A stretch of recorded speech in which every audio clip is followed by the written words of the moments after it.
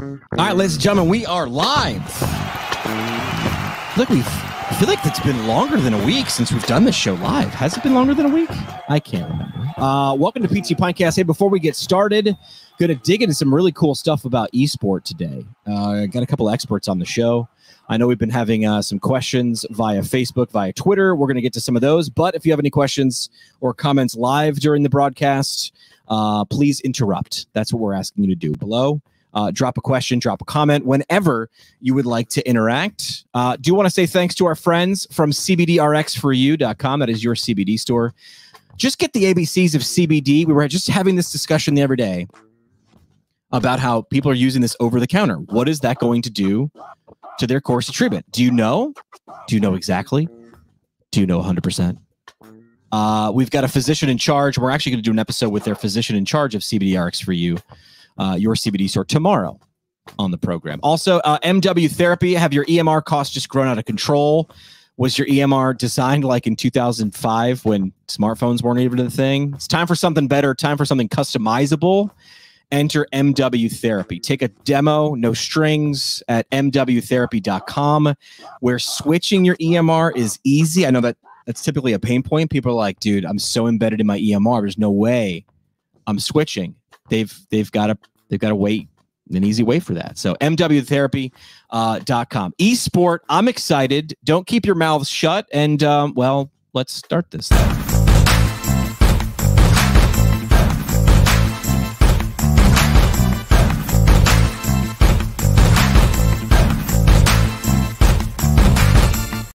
All right, and away we go. Welcome to PT Pintcast. I'm Jimmy McKay. I'll be your host tonight. We like to say uh, the show is great physical therapy conversations on tap, and I think we're over delivering uh, on the socials at PT Pintcast. That's Instagram, Facebook, and Twitter. Subscribe to the show. We mentioned uh, a few weeks back that there was an iOS update, and some of you who were subscribed to the program might not be subscribed anymore. So make sure you, you click in that top right hand corner if you're using the uh, Apple Podcast app. We're, we're, found wherever good podcasts are uh, are found. Also, we're found where mediocre podcasts are located as well. We don't discriminate. Um, and uh, as we mentioned earlier, questions, comments, feel free to drop those below. As Anthony is saying he's watching this live, he's making sure Salvatore uh, Salvador is uh, is is is getting tagged in this as well. So don't be shy. Feel free to jump in on this tonight. We've got a physical therapist and co-owner and esports medicine director of One HP on the show, and uh, founder of GamerDoc and licensed physician in the field of physical medicine and rehabilitation. Both co-editors of the Handbook of Esport Medicine and serve for the Annals of Esport Research. They literally wrote the book on this. So, if, I mean, think about the street cred or the online cred that's going to go with this. If you're like, I mean, how many times would you cite yourself if you wrote the book on something that you're in? I would do it multiple times a day. I would just troll people online and wait to cite myself. But let's get him in here. Uh, Dr. Kate McGee and Gamer Doc, welcome to the show. Hey, Jimmy. Thanks for having us. How's it going? As we pipe in our own the crowd goes wild. I just got the name of the the pod. I've only seen it written and I never heard there it out loud before. So yeah. Also, Jimmy, yeah. gonna be honest, uh, the the citing the the textbook thing, I'd put in a submission for a research conference that like included some stuff that was related to what we wrote about in the textbook. And like one of the reviewer comments that came back was, uh, "I'm concerned that some of the information contained in the abstract of this presentation uh, is very similar to a book that has come out too recently for the presenters of this uh, program to have read. And then they cited my textbook, and I got to reply, I wrote the damn book. That is fantastic. There was a there was a tweet going around for a woman who I think worked in like NASA or something like that. It was like uh somebody was like you need to read read like smith et al and she like moved her hair she's like i am smith et al like think about that flex really like she'd be like i am that person. And what what do you think that person did? Like they're just like the Homer Simpson meme where they just kind of disappear into the bush. he probably doubled down. Probably. Distinct possibility just... that the reviewer on mine was blinded and was actually like being very considerate and making sure nobody was mm, like, you know, okay. plagiarizing my work, but okay. it was still pretty great. Let's pretend that the world is nice and normal and those people do that. All right. Well, be a hopeless optimist. Lindsay, I appreciate you figuring out the name of the show and why we call it Pintcast because physical therapy conversations. Like that's okay. That's all right. First question is always the hardest. We ask uh, people, uh, "What are we drinking tonight? What's on What's on tap for you?" Cutland. I'm just drinking water. Okay. I'm just kidding. Fancy This is a vodka soda. There you go. sipping, sipping. Kate, what do you got? Uh, so two of my friends who just got married over the pandemic started making and bottling their own seltzers and ciders. So I've got a tart apple seltzer. Well played. I'm doing the slightly mighty IPA. It's low cal, but you still want to pretend that you're cool and hip and you drink IPA. So this Can't is from Dogfish, just Dogfish Head. This is lighter and it is a low cal IPA, but it is a little bit lighter. It's not as heavy. So uh, cheers, lady. No matter cheers, ladies. No matter what we're drinking. Uh, welcome to the show. Cheers. Thanks to our friends from Owens. Recovery Science uh, for bringing you the first round. They're a single source for uh, uh, people who are looking for personalized blood flow restriction rehabilitation training. BFR, as the cool kids are are calling it. Uh, find Johnny on his own podcast. This guy's everywhere. You just get a lecture for APTA and their centennial on BFR at owensrecoveryscience.com. Uh, dot com. so we mentioned in the intro, guys literally wrote the book on this. So walk me through the arc. Like, think about you're writing the book on a topic that I don't know, Kate. When were we standing at World of Beers? Like four or five years ago? That was, let's see, it would have been like a year after I was at VXC. So this was probably like 2016. Um, Wow. So not too long after I'd started doing the whole esports thing. Before actually Matt and I were doing 1HP. Um, it was after you did the Marymount thing. right. We had done Uh, we had done like a birthday party. live for the PT podcast. podcast at, at Marymount. Yeah. That was our one year birthday. So let me give the audience some stats because you were throwing some statistics at me that that night. I was. Uh, over 450 million viewers worldwide, over a billion in revenue, and that's in 2019. So we know we're probably well beyond that because we weren't doing a whole lot in 2020. So I'm guessing people were doing things that they could do on their own in their own homes. Um, and that's what I'm describing, you know, competitive video gaming, known more popularly popular as esport, not a fad. Although I remember, I think in our discussion in 2016, I had said one of the ESPN commentators had just made a comment saying like this isn't a you know this is a game, not a sport, and we were having that discussion. I thought it was it, and that guy doubled down repeatedly. We did. And I don't know where that guy is now, but he's not. I, just anywhere saying that ESPN's PT Stephania Bell is on our side with esports is in fact actually a sport that people should pay attention to. Yes, We've got the most important person at ESPN on our side. All right. So why the need for the book? And we'll put the link uh, for the Amazon link right now because I know there are people that are looking for this.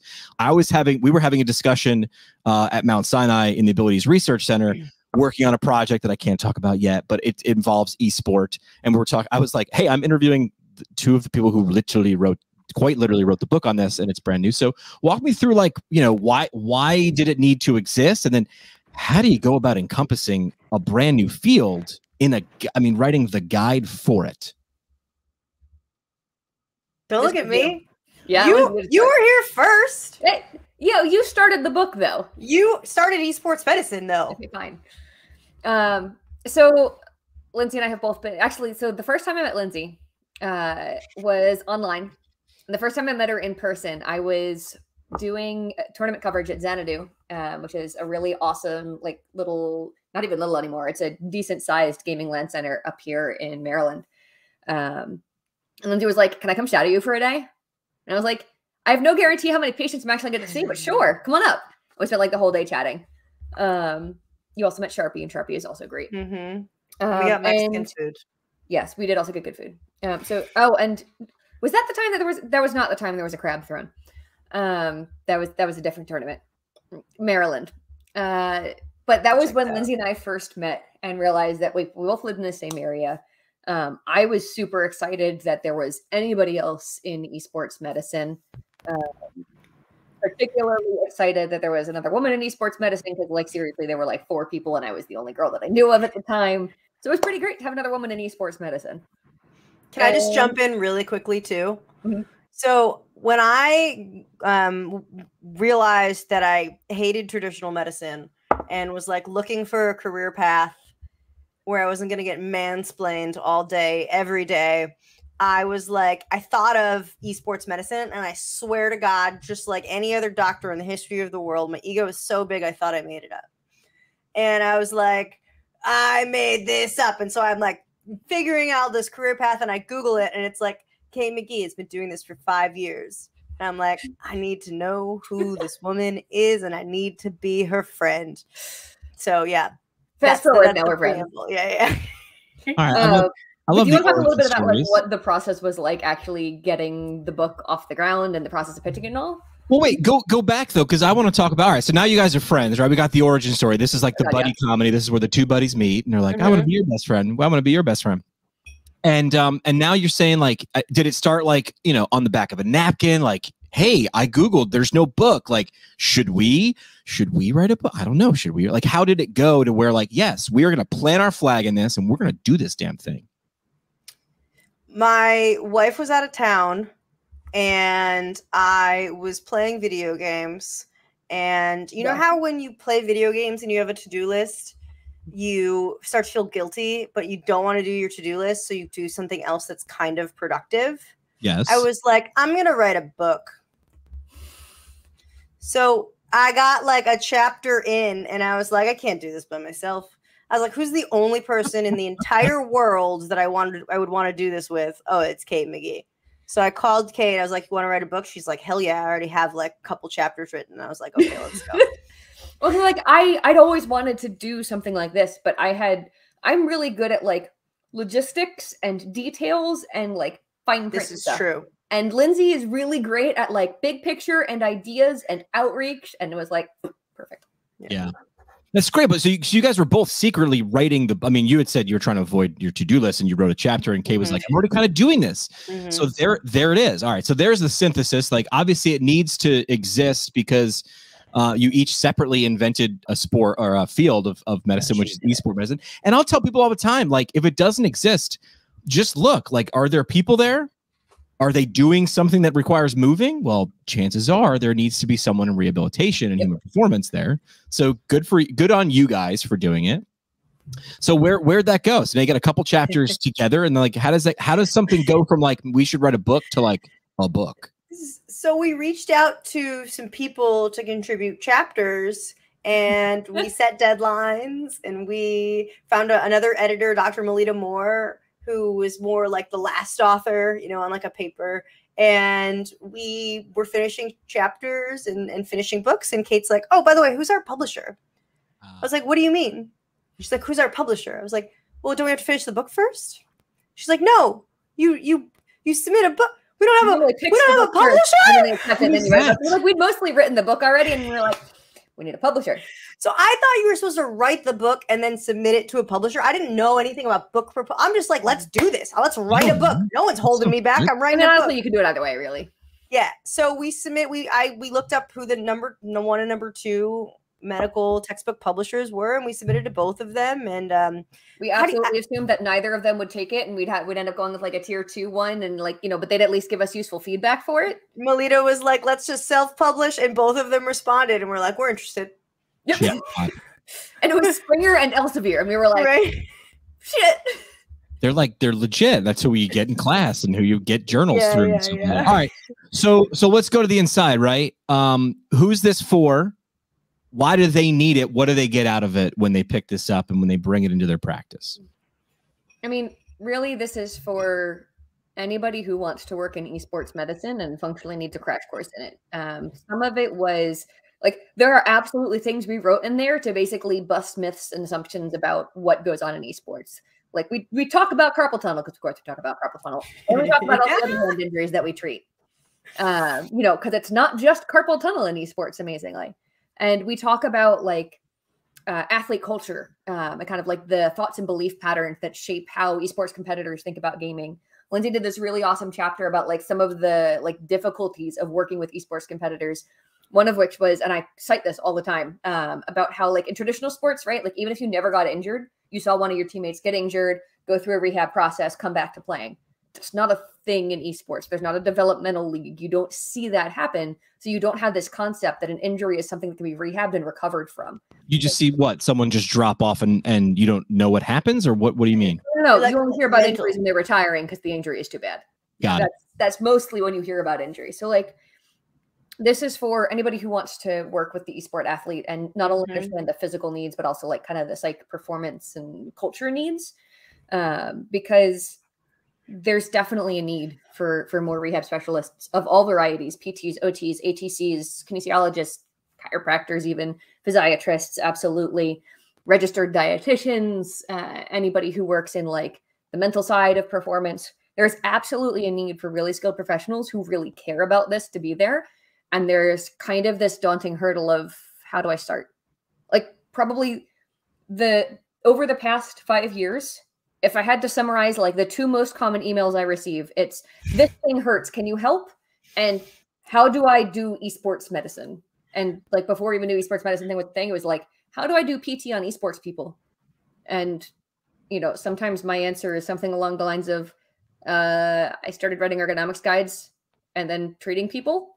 I don't have a great on ramp for you here, so let's try and make an on ramp that actually helps. I mean, when you know you've got an intersection, is your two most frequently asked questions to to you are, um, "I'm getting hurt doing this, and how do I help people who are getting hurt doing this?" Like, Let if there was ever, the people together.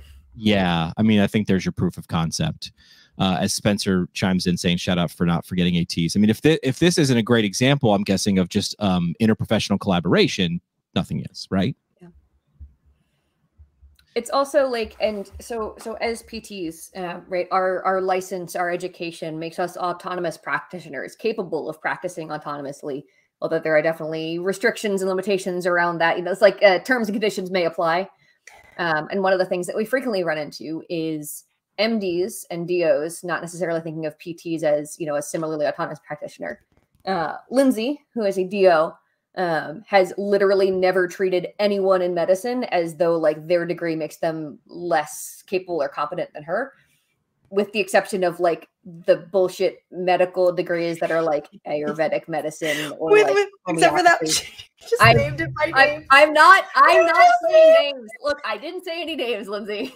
I just said practices. Well, I mean, Kay, you're smarter than me. I mean, I, I've known that since the day I've met you. It's there's no. Will you stop underrating your smarts already? no, I know how smart I am, but you're still smarter than me. So, I mean, I don't think I don't think the stuff after our name is more of a reflection of our influences early in life, privilege, and our financial background, and less of a reflection of our aptitudes and capabilities. I, I think uh, the reason why I left traditional medicine is because they're all a bunch of assholes, and I wanted to come to a place where people respected each other mutually, and it wasn't this whole hierarchical thing. Like people who, Pedestal. like my my my colleagues who only wore white coats, even when it was like one in the morning and they were coming out of bed, they'd pull on their white coat. It's like if you need a white coat to be respected, you're not doing a very good job being a doctor. Yep. So I. eh, that's my that's my thought process on that. So Kate, sorry to interrupt you, but No, the good interruption. yeah. We just found the clip that's going to be used to promote this episode. that's- that's it. If you don't have, have a better just mic drop than that, That really is a good line. Keep that one. Um, so so uh, when it when it first came out, and you guys both have copies of the book, and you and it lands in your hand, how's that feel emotionally? I mean, that's a lot of work put in to actually hold the handbook of esport medicine. Uh, I cried. Yeah. It was bit. it was a lot because Kate and I, like we said, we had it finished for like a year. Yep. Um, it was done, and then we found a publisher, and they sent it back to us for edits. We made some edits, and then sent it back to us. And we said, "This is great. Can you, dub- can you double this?" And we're Yeah. like, "Okay, how much time?" They're like, "A month." We're like, "Okay, sure, Sure. sure." So it's all in Google Docs, right? And like Google Drive, and it's done, but it's it's it doesn't exist anywhere. It exists, it's And real. so, um, what ha- what had happened was, happened? um, I was at a party at my friend's house, and I had asked my wife to bring over the books because I know they had been delivered that day. And I was a- a little tipsy. Um, and a little side note is if you open the book and uh, the dedication, it says dedicated to Stella and Bossy Girls. And Stella was my grandmother. Um, sh- She didn't know that this was going to be dedicated to her. I wanted it to be a surprise. And she passed a couple weeks before the book came out. Um, so I get the book. And or, so so I'm at the party. My wife forgot to bring the box over, but the box arrived to that house because it was the place that I had lived previously. So I open the book, I turn it to that first page, and I look at her name, and I just started like losing my mind. Like I Oh. don't cry, I don't cry, and I was just lost it. So That's uh, that's a really uh that's a that's a story. yeah, Your grandma would be proud. Yeah. Yeah. Well, kudos to both of you guys and everybody else who uh, who helped. Uh, question from the audience right now. This one's from Dave. Is the book something that is it more of a reference or something to read or a mix of both? A little bit of both. Um, Yeah. so it's so you can see size wise, it is it is a handbook. It is not like a heavy duty, dense like what have I got here? Um, I've got one of my orthopedic textbooks. Ugh. It's not an it's not you know an, an orthopedic physical assessment. Yes, I happen to have that on hand. It is a handbook. It is handbook sized. Um, so it's absolutely something you can sit down and read and get a lot out of. But it's also not going to take over your life to read it, and it's easy enough to like you know go and check specifically like okay i suspect the patient has this thing going on let me brush up on it and like you know you can flip to the page on like yeah. beep radial styloid tenosynovitis Or if you're saying, hey, what you know, what what are what is the latest or what are the guidelines on uh, sleep or nutrition? You've got that covered as well. yeah. You can go can you can thumb to that. it's definitely different chapter by chapter too right so there are certain chapters like the intro chapter or the injury prevention chapter the ch- cap- chapter kate wrote on cultural competency that are easier to read as someone who wants to not just read a textbook. So those are the chat and you can easily tell what they are when you get to them. Yeah. And then there's other chapters that are these are the injuries that you get. This is how to prevent them. Here's how to treat them. So Right, it really differs. structure. yeah. Um, so that's Uh, there's bit of good research, good resources. Guidelines are evolving rapidly. I'm reading from the uh, from the the anecdote uh, on the website, but this is this is it, right? This is the first big resource, and I mean, now you guys are gonna. No matter what happens after this, you want to be like, well, we did write the Look, first book. I don't want to. it's also so Right. like we we cite a lot in here but interestingly enough a lot of what we cite is not games or esports specific research mostly because there's not a lot of games or esports specific research um, so it's going to be pretty cool that when we inevitably make the second edition of the handbook of esports medicine we're going to be able to cite a lot more esports Yeah. specific research this time around That's great. All right, so I'm going to throw out some more numbers, and I want you to talk about this. This is for people who are watching the audience, rehab professionals. Um, players will practice, excuse me, gamers often practice upwards 12 hours a day. Kate, that was something you told me previous. I had no idea. Performing anywhere from four to 600 actions per minute, right? So, how would you describe an action and then four to 600 of it? uh, action is push a button, push a key on a keyboard, push a button on the mouse. Um, if you're playing on a controller, it's push a button, move a joystick, um, L cancel, anything like that. That's that's an action. So every time that finger is moving, that's probably an action. Wow. Four to 600 a minute. So you've got a human being. Mhm. And also, we talked about uh, the the positions people will sit in.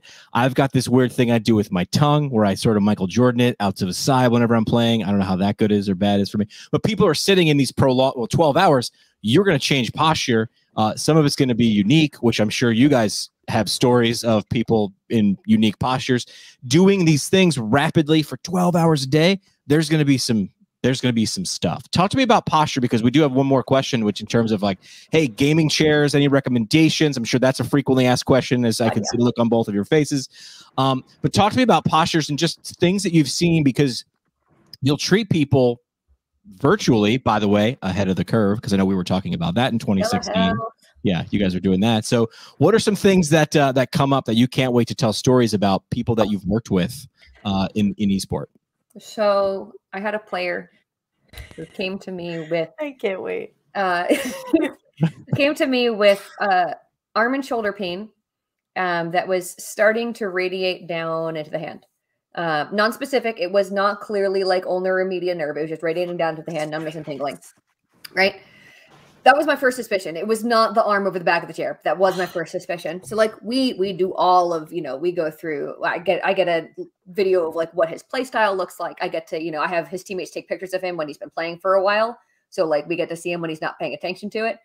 I ask him all about, you know, what other things he does outside of gaming, what his sleep habits are like. Um and like there is nothing clear that's showing up as a potential mechanism of injury. We start treating and it's it's going fine. It's basically a thoracic outlet. Um you know, we start treating for thoracic outlet, we're making improvements.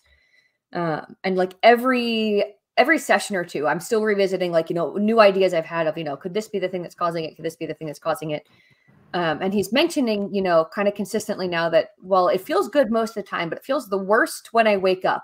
So like I start hammering a little bit more on sleep, like you know, what kind of pillow do you use? How many pillows are you on your side or on your back or on your front? What's your mattress like? How old is your mattress? I'm asking him about his sleeping position. I ask him a lot about his sleeping positions. I'm like, this has to be sleeping position, and he's like, no, I just sleep on my side, you know, normally. Um, and so for all those PTs out there, you know how like they remind you to ask your questions like six different ways so that you can get a good answer from your patients sometimes. Oh God. I finally ask him very precisely and specifically, what is the position of your arm when you are sleeping? And he demonstrates it for me. The position of his arm is he sleeps on his side like that. Oh no. Oh, you gotta be kidding me. Come on. And I'm like, I think when I know why we've got thoracic outlet going on for you right now. I think we found what happened. I But here, think we found the culprit. but you just said like you got to ask this- the same question six different ways because that's that that was that person's normal. Right. And like we got to think about like, you know, what is normal for them for sure, but also like the things that we think of as normal and abnormal, the things that we think of as pathological and not the things that we think of as obvious and not are very much shaped by our years in school and our years in practice. And that does not mean that it's at all obvious to our patients. And that's true for all of our patients, not just our gamers. Yeah. GamerDoc, what do you got? Like you were making a face when I asked this question. I feel like you got like good ones. You Oh God, have. no! I just refer them all to Kate. Uh, I mean, I I would have stopped after the first iteration of the question. Just read referral to PT. Arm is jacked up. Please evaluate and treat appropriately. Uh, I Kate does a lot. Kate has a lot more patient experience than I do. I focused a lot more in the past year or so on systems based implementation, uh, content creation, um, creating curriculum and lessons for other organizations. Um, and then last week I signed on with Evil Geniuses as their Oh, yeah. wellness and performance consultant. Achia! Cheers! That gets cheers. Um, so once again, I'm, I'm I'm not really going to be working directly with the players. I'm I'm creating organizational based practices. So, um, like I said, Kate works a lot harder than I do. No, I don't. We work equally hard. So this this feels like um, when I was reading kind of the, the the the back of the baseball card of of, of the handbook, it felt very much like a, like a mixology guide where you were going to go through because there's a mix of pathologies, right? There's a mix of of of injuries and disorders from these complex movements, extended 12 hour playing. I mean, what how many what sports are people training for 12? I mean, Ironman, you don't even train Great for that- question, that Jimmy. long. Great question. It's on the like, list. it's definitely improving. Like we're Yeah. definitely seeing fewer and fewer teams for which that is the norm and the expectation, um, and and far fewer teams where it's just straight grind for as long as you can. Um, Yeah. There was a time when like that was the model that made the most sense because that was the model that was used by the players who were the most successful. Um, and now that we've got more structure and more organization and more support, then absolutely we're seeing less of that as a need. Uh, but it's kind of hard to shake that as kind of the base assumption that in order to be the best, I have to grind as much as I possibly can. Right. And like you said, you you had you had gone into this trying to um, bust a lot of myths. I mean, you're still on on little league fields trying to bust myths, and we're how many years past? Like, hey, maybe throwing this many hundred pitches Oh five days a week is is maybe shitty for a nine year old. Um, so maybe these maybe myths- it's better for kids if they play a variety of sports and learn to enjoy activity as opposed to being forced to hyper focus on one of them because their parent has unrealized dreams about a baseball career. D one baby. That's really all. specific. D one or bust. That's it. That's all I want to know. That's so specific. Yeah. the number of like I there's a reason I didn't go into peds. And the reason is not that I don't like kids. I love kids. Kids are adorable. Although I did discover that way too damn many of them are taller than me at like age eight, which I'm not It's okay not hard. with. Um, thanks, Lynn.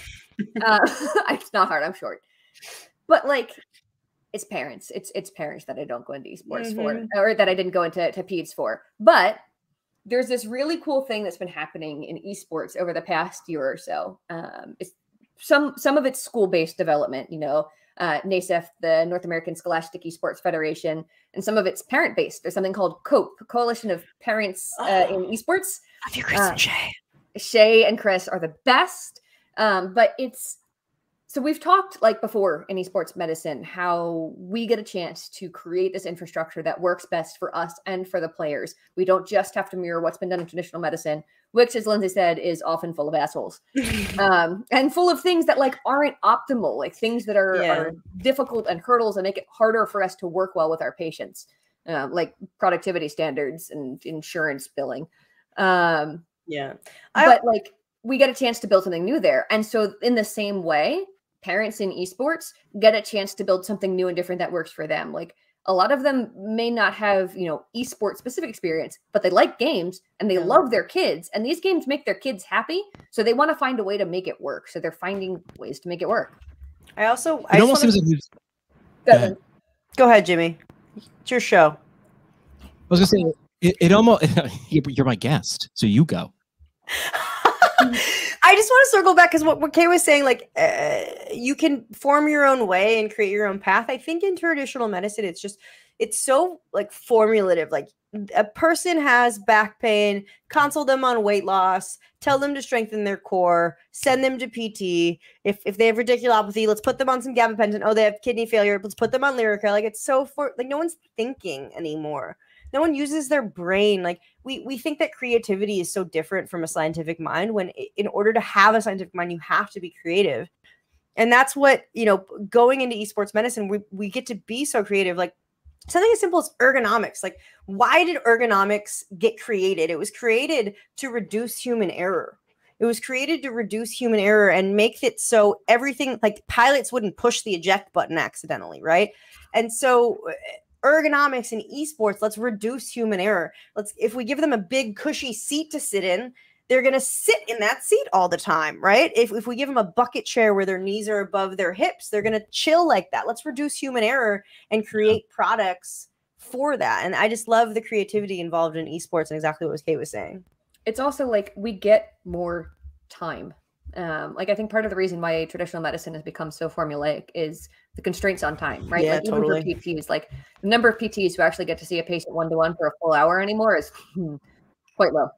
Um, I mean, same thing goes even more so for for our friends over on the MDDO side of things, right? Like the amount of time that you get to sit with a patient for more than maybe 15 minutes, 15 minutes is a pipe dream.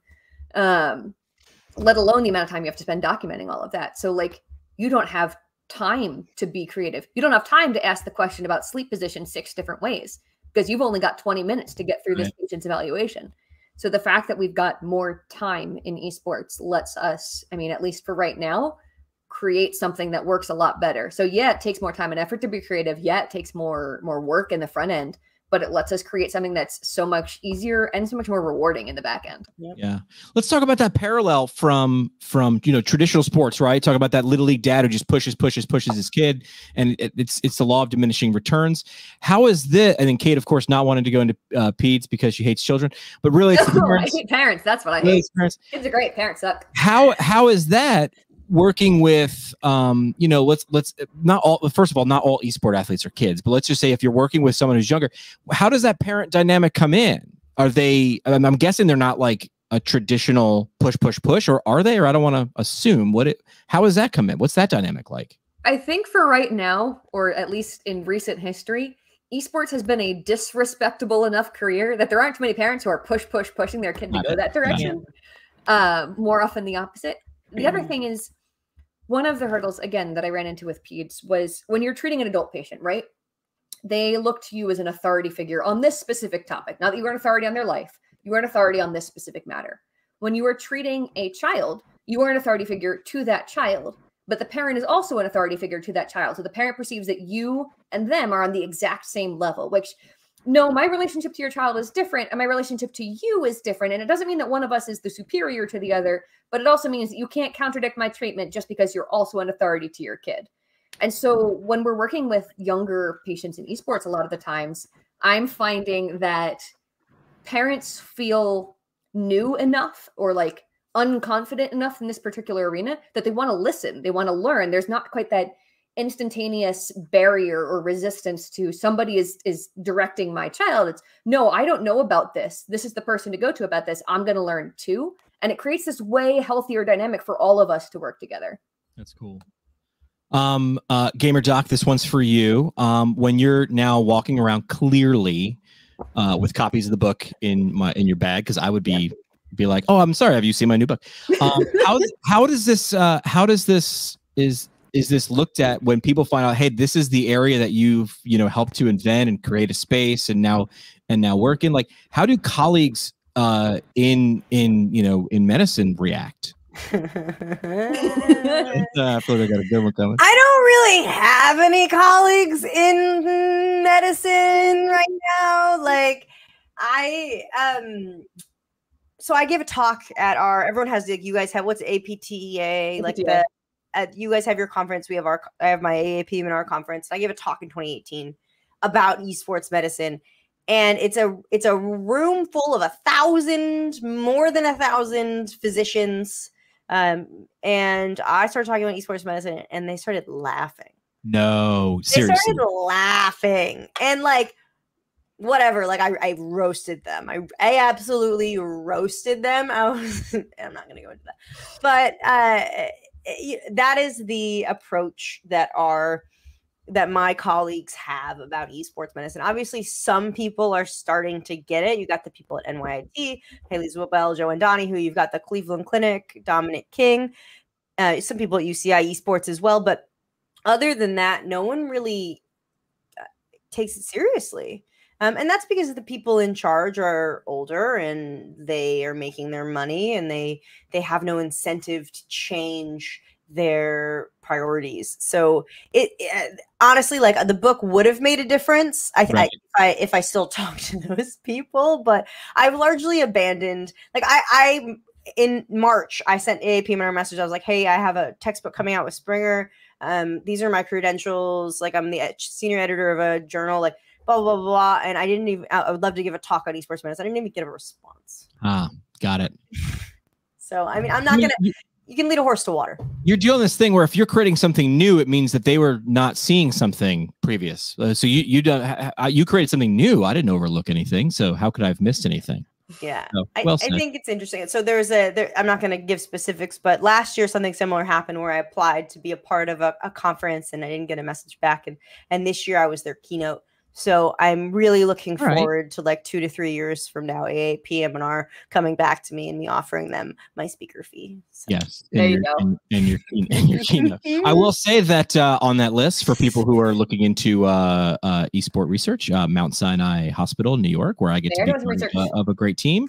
Uh, Oh, yeah. They are very, very excited about that. Uh, A great question from the audience. Chase watching while he's leaguing also wants to know. It's a great opportunity. I think see Kate, Kate lighting up there. Any plans for CEs in the pipeline? I know. I, I like this question. I, I I hate to leave uh, a very vague and mysterious answer, but the general answer is yes.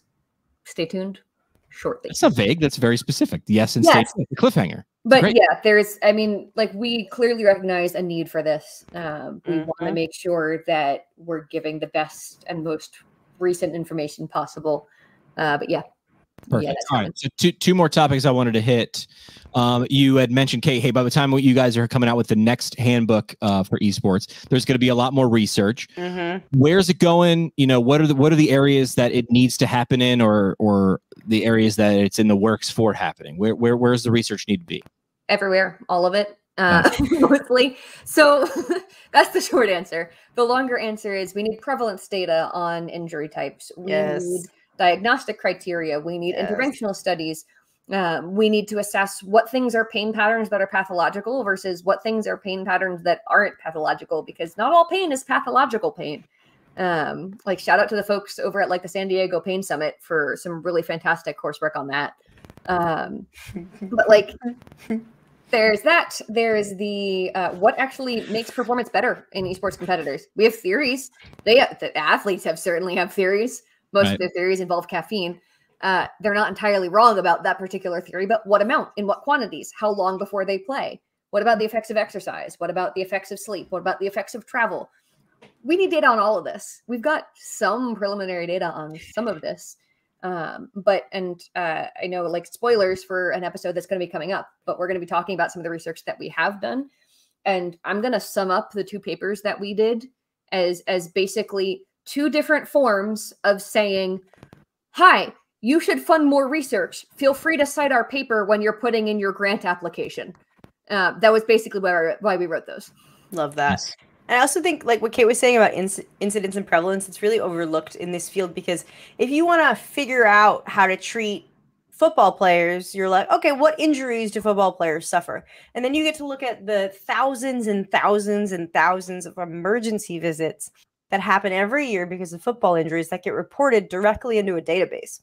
And that's why we get the, we know with football, you get ACL tears, you get concussions. These are all, you get quad contusions. Eh, that doesn't happen for esports. So we simply, at this point, we know they experience wrist pain, we know they experience hand pain. Why are they having that wrist and hand pain? We have case reports. Yep. Right. We don't have anything else. And and it's hard because you can't if you want to evaluate esports athletes, you have to evaluate the pros. If you want to check pros for injuries, good luck. Good luck because they're one, they don't know they can get injured. Two, afraid that the arm yeah, pain they have is cancer, you know, and and three are afraid they're going to lose their starting spot if you touch yep. them. So yep. it's very hard to get data. We want basic basic data at this point. Um, any any we you know case reports are great, surveys are great, right? That's what we have. They're a start, but we need more. Yeah. Good. It's part of why I'm so excited about all of the collegiate esports programs that are coming out because hello, college esports population, you are a captive population research. I mean, not just captive population, but like they're they're in an area where like there's not that fear that you're going to lose your right. paid job, your whole career if you report an injury. Right. There is, in fact, an assumption you might get treated for it. Um, so we get, you know, kind Imagine. of one of the big barriers to entry out of the way when it comes to research. Um, obviously, Mount Sinai is doing some good stuff. Um, NYIT is doing some fantastic stuff. Ryerson University up in Canada is also doing some really great stuff. Um, they've got a lab called the Conduit set up where they're starting to look into the effects of like haptic feedback on posture change, um, which is like letting us do stuff like, I mean, so the thing with research is we have to answer the questions that we know the answer is obvious to, but we need to prove it in data. So, like, does one specific posture cause more back pain than another specific posture? Or is back pain more related to just not friggin' moving? It's, it's the second, it's most of the second one. Um, if we show that, you know, not moving very much is related to back pain, can we then also prove that moving more decreases back pain? Okay, if we've proven that moving more decreases back pain, how do we prove that this intervention is effective at getting players to move more? Mm-hmm. Like that's how the research builds on itself. But because there isn't an available body of research for esports, we need to like take five steps back from our from our ideal premise, which would be how do I look at what improves performance in esports competitors and go all the way back to what's my metric for performance in esports player? Is it a specific mechanic in game? Is it something that I can check from the API of the game? Is it total wins? Is it wins on LAN? Is it wins online? Is it wins in this specific construct? Is it wins on this specific role in this specific game? And what game? What game? What game are we talking about? What is not a monolith? Yep. Yeah. Yeah. So we need to take like five steps back with our research and start at the very, very basic stuff so that we can build on all the useful and informative stuff. It's nobody wants to do that though because it's it's a little bit boring. Do also sounds like you guys have thought about this. Just it's in the book too. Just a oh god, yeah, no, we have a whole thing on current research and, and what we need. All right. What surprised you? I'm going to ask you this question to each of you. What surprised you the most about putting a land? I'm going to call this a landmark piece of literature out there. When you when you kind of invent a space and you write the handbook for it, what surprised you the most? Let's go to well, you whoever wants to go first.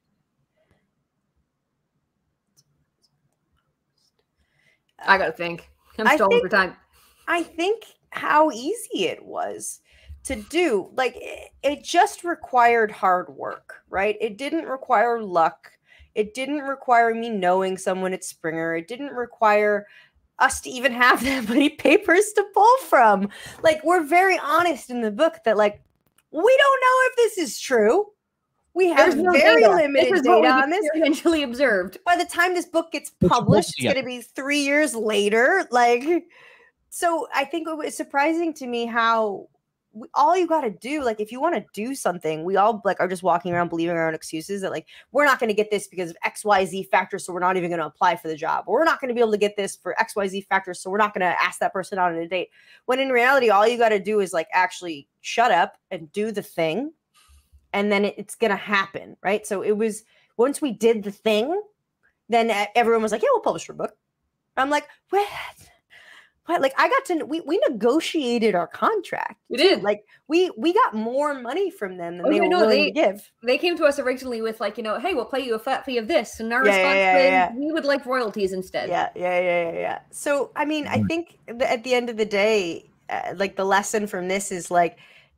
I don't think Kate and I seem particularly like intimidating or um per, like aggressive or anything, but like we wrote a book. You can write a book. Write a book. Write the book, you With the know? book. What are you waiting book. for? Get your just stop doing your to-do list and ri- start write chapter one of the book. Exactly. Ignore your to-do list and write the first chapter. Get of the book. drunk, tell your wife to leave town, write the book. Kate, most surprising. What was it? Was that was that it too, or do you have something different? It really was. Like like we go through school, right, with these absolutely massive textbooks with, you know, these these kind of giants of our field. And even our professors oftentimes are giants of our field. Like for crying out loud, I had Lynn Snyder Mackler as a professor. She did my entry interview. Do you know how intimi- intimidating that is when Lynn Snyder Mackler does your interview for PT school? It was terrifying. And we mostly talked about the musical Cats. Um, not gonna lie Love her already. but like we go through like all of this schooling thinking of the people who wrote these textbooks as inaccessibly brilliant and competent in ways that we cannot possibly be. And all that it took was knowing enough about the thing to write the damn book um, to to do the damn thing.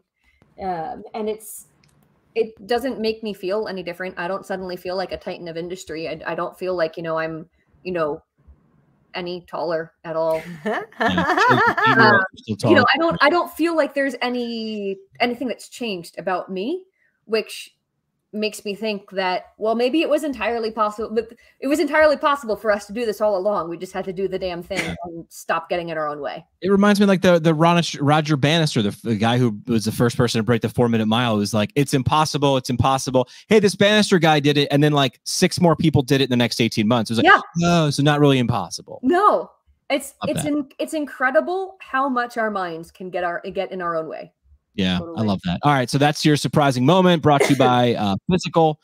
Um, they are uh, an organization that uh, seeks to put physical therapists in charge of their own physical therapy practice. If you're ready to discover how the largest network of PT private practice owners are growing and adapting to industry changes, visit fyzicalfranchise.com. That's fyzicalfranchise.com, F Y Z I C A L.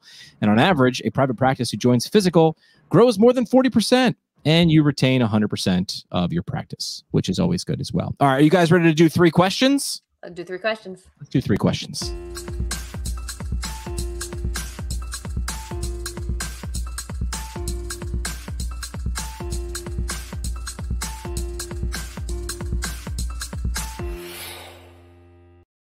As a physical therapist, you have a unique set of skills, your in depth medical knowledge, fine touch, and confidence. You're sure to make a huge impact on your patients' recoveries and long term care. But what about where your where your career is? Move forward in your travel physical therapy career, wherever you want to go at Fusion Med Staff. That's uh, fusionmedstaff.com. Leaders in hashtag, uh, hashtag, I can say that again, hashtag travel PT. Again, fusionmedstaff.com. So, first question on three questions, ladies, is a where question. Uh, where is somewhere you can't wait to go uh, on vacation, travel to a conference, to roast people, wherever that might be? Uh, Kate, we'll start with you. Where's your where? Where's somewhere you just can't wait to go to? I cannot wait to finally, once this pandemic is gone enough that it is safe to travel, even with my vaccination status being fantastically good, uh, I can't wait to get to Ireland. Um, yeah. it's uh, with a name like Caitlin McGee, it might be a little bit obvious that I'm possibly Irish. Oh, sure. so I'd really love to get there someday. Perfect. All right, uh, Gamer Doc, where are we going? I want to go to board game night at Kate's partner's house. Get up here. Done. Board game night. I love that. All right, second been talking question. about it for months. I need to get. second question is a what question um and i'll i'll add a fourth category usually i say what book movie or podcast would do you think the audience would get something out of but i'll say also book movie podcast or uh video game or, or game title what's something you think the audience should jump into the Gary Vee audio experience. oh yeah gary vee always dropping knowledge in this podcast Every, I, I listen to that man. He says the same thing over and over again. I listen. To, I learn something every single time. tells you the whole time. He's like, I'm going to repeat myself, and if you sh- if you don't want to buy the book, don't, because I'm just going to say it in my podcast. But then what do I do? I pre-order the book. Yep. Why not? Uh, Kate, what's your uh, book, movie, podcast, game? What do you got? So, book that absolutely was like mind blowingly, fantastically good for me is not one book, but a trilogy. Um, Okay. It's a fiction trilogy. It's not going to, you know, advance your practice or anything. It's just going to like make your mind go, "Oh my god, this is amazing." Uh, it is the Broken Earth trilogy by N.K. Jemisin. The first one in it is The Stone Sky, and it was the first book I've read in a solid decade that had a twist I didn't see coming. Ooh, I Oh, like I love that. that. Did you see the twist in um, uh, M Night Shyamalan? Did you see that one? Which one? The one? old, Uh, I see dead people. oh, Oh yes, no. You did see that twist? I didn't see it coming. That Didn't book's see- arriving tomorrow. I just ordered it off Amazon. dude got gut shot, of course, or got stabbed. Nice. All right. Uh, last question on three questions is a who question. Who is the audi- uh, Who is someone the audience should know more about? Like who does? Who's doing great work, but more people should know about them. I'm gonna say Daniel Bonnar. Uh, he is a clinical psychologist. He's from Australia. Um, caveat: he is he does work for One HP, so I know him and he's fantastic. Um, but he specializes in sleep, um, like sleep psychology, uh, which is like the single most underrated way to improve your performance is actually get better sleep. Like there's serious research on it, not just in esports. There was a really great research study on Duke basketball players when they were assigned to get nine hours of sleep a night instead of just however many they normally get. Uh, their reaction times improved, their focus improved, and their injuries dropped by like 25%. Yeah. Um, so his research, um, which is some of the early research that's out there in esports, specifically on sleep and esports, and now he's looking into caffeine and sleep and esports, um, is really fantastic. And more people should follow his stuff. He's Daniel underscore Bonnar two on Twitter. It's the basics. Do the basics well and stick to them. All right, GamerDoc. 2010 Who- rule. who's your who? Uh, Dr. Wayne Mackey, the owner of State Space and the genius behind AIM Lab. Dude is a is a neuroscientist, one of the smartest dudes I've ever met in my entire life. Humble, so down to earth, is doing amazing things with gaming and doesn't want anyone to know what he's that, that he's behind it. Love Did it. he love tell him. you his story about why he got tattoos? No. Okay, so so Maybe. Dr. Mackey has lots of tattoos. Um, he's got like two full sleeves, I think. And he doesn't want you to call him Dr. Mackey. He wants you I to call him Wayne. Wayne, sorry. Wayne wears Wayne has full sleeves. Uh, Wayne is a absolutely genius, bonkers genius doctor, um, PhD, and he got tattoos in part because as a kid he overheard some mom Oh, yeah, no, how unprofessional and you know like uh, how dumb you know somebody must be to have all those tattoos.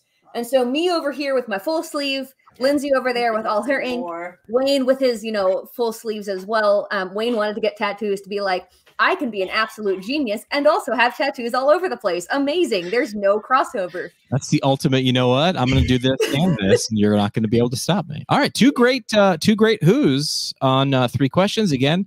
FusionMedstaff.com. Last thing we do on the show, ladies, is the parting shot.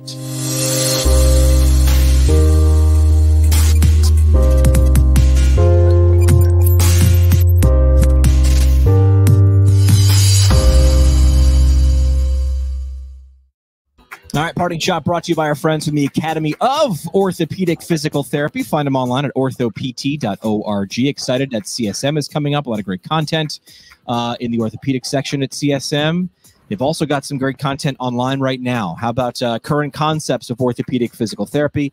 That's that perfect roadmap to take you from wherever you are in your career to something like an OCS or just improve your orthopedic game. Uh, they just came out with the fifth edition, so it quite literally is the current concepts of orthopedic physical therapy and they have an option now this is brand new you can uh, you can buy the, the whole current concepts or if you just want to focus on upper quarter or lower quarter you can divide and conquer or get the whole thing whatever you want to do put it in your stocking this uh, this season uh, orthopt.org so parting shot uh, ladies Kate, we'll have you go first since you've done this before. It's just your last chance for a mic drop moment. Whatever sentiment or idea or thought you'd want to leave with the audience as we wrap up. Kate, you go first.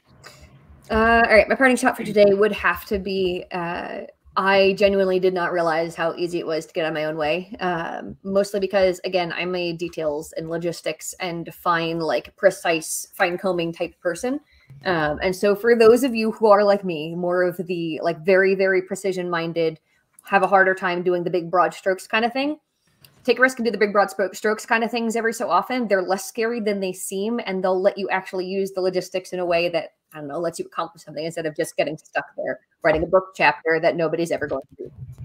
Yeah, do the thing. Do the thing. Do I mean, I had, I had, a Boston radio who was like, uh, "Listen, if your radio shucks, uh, if your radio show sucks and no one's listening, I mean, did you fail in front of anybody because no one's listening? Who cares? Just well, there you it. go. It's a, lower the bar for yourself. All right, GamerDoc, no pressure, but you get to wrap up the episode with your parting shot. Uh, you know, in the line of Gary Vee, give less craps about what other people think of you, and that's really easy to say. And when when people are saying negative things about you, you say rub them, brush them off, brush them off. But it comes from not letting people hype you up, right? You have to have validation from within you have to not let people get you so high when you have accomplishments and when you're doing good things and when life is going well because if people can bring you up they can bring you down. Uh, validation should come from how you feel about yourself and introspection and not how other people feel about you. So yeah when when, when you detach that things you know he, he's like the higher the higher highs are, aren't as high the yep, lower lows. He's like exactly. when it comes from within um it's more genuine, right? And he preaches yeah. like, you know, don't don't uh don't live your life for somebody else. Stop what stop buying shit you don't need to impress yeah, yeah, people. Yeah, you, you don't yeah, yeah, yes. Yeah, I love that. I love that. Why are you doing that? All why right. Uh last thing I'll let you guys do. Uh you, people should buy this book because why? Because it's the first of its kind to talk about esports as a clinical topic in medicine and performance.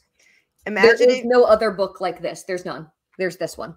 And imagine if you were around when orthopedic medicine was created. Imagine if you were there when the first person who wrote that book published that book. Like, like I, this is esports medicine is going to be a thing, right? It's going to be a, a multi-million dollar industry in 10 years.